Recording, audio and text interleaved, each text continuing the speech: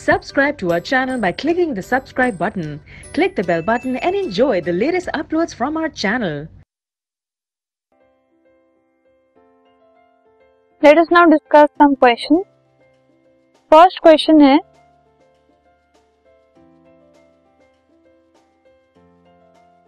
How is atmosphere different from atmospheres on Venus and Mars?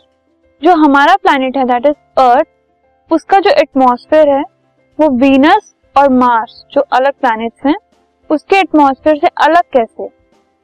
तो जो अर्थ का atmosphere है, वो एक मिक्सचर है, जिसमें नाइट्रोजन 79 परसेंट प्रेजेंट है ऑक्सीजन 20 परसेंट प्रेजेंट है, और कुछ small quantity carbon dioxide water vapours और बाकी जो इनर्ट गैसेस हैं, उनकी होती है।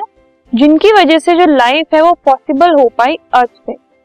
लेकिन अगर हम वीनस और मार्स की बात करें तो उनका जो एटमॉस्फेयर होता है उसमें मेनली जो गैस होती है वो कार्बन डाइऑक्साइड होती है जो कि 95 से 97 परसेंट तक होती है।